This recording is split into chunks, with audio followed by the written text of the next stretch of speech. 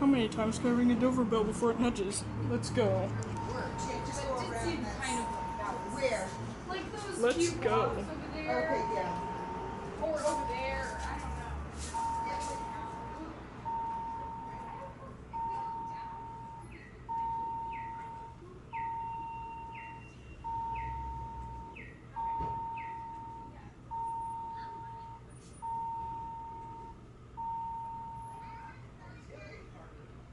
12. That's it.